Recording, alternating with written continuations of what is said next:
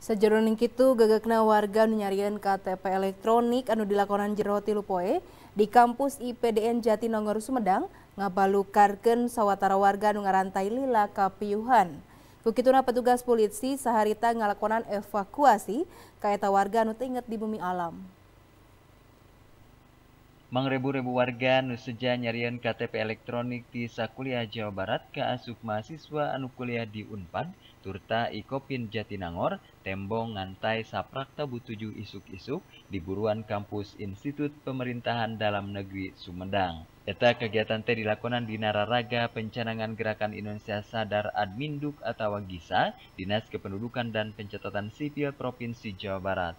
Ayat dua hambalan anu dilakonan, nyata perekaman turta pendistribusian. Pendistribusian bakal dilakonan luyu karena wilayah domisili sewang-sewangan di Saban Kabupaten Turta Kecamatan.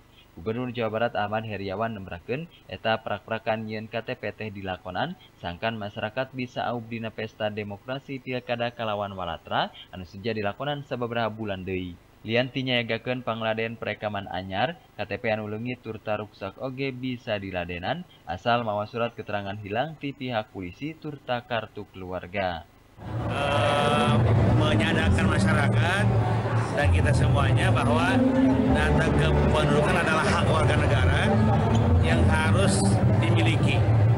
Dan tentu negara akan hadir di mana-mana ya di berbagai pelosok Indonesia untuk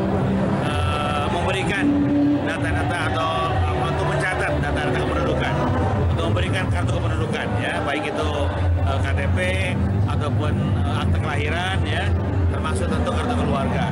Ini bagian penting dan tentu titik tekan pada hari ini adalah KTPL, ya KTP elektronik.